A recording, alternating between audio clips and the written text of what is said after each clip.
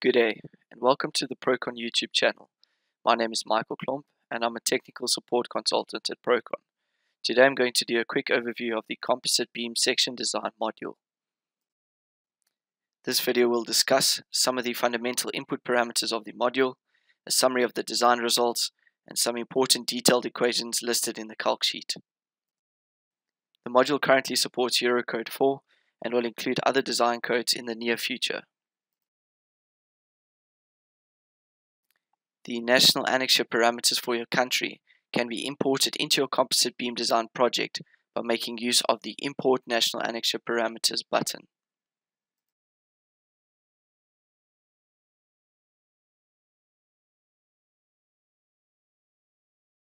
Once you have imported your national annexure parameters, it will display on the bottom of your screen. You can choose no deck or different deck configurations such as flat deck, a rib parallel or perpendicular deck, or a corrugated parallel or perpendicular deck. The module provides you with a dimensional sketch reference when inputting the dimensions for different deck configurations. The module supports I and H sections. Should you wish to use your country sections, you can set your country sections as a default in the Prokon section database and then the module will allow you to make use of your country's sections. You can specify the concrete slab effective width as per the code guidelines.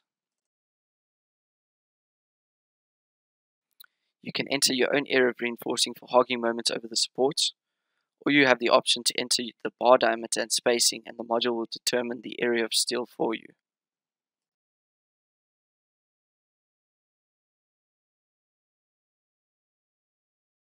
Should you have product-specific technical literature on the strength of the stud, you have the option to manually insert the value yourself.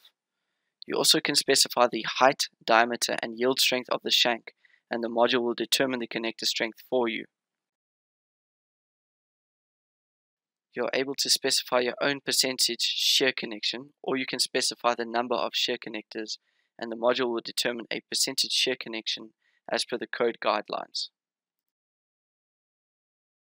ULS moments and shear forces for load cases can be inputted into the loads table. A negative value indicates a hogging moment, and a positive value indicates a sagging moment.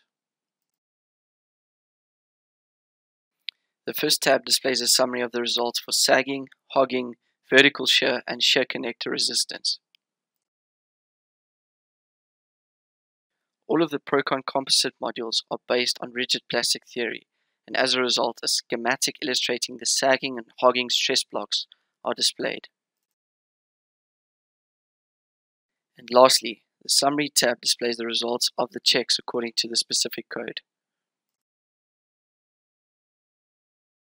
The Load Case Results tab indicates the critical load cases for sagging, hogging, and shear.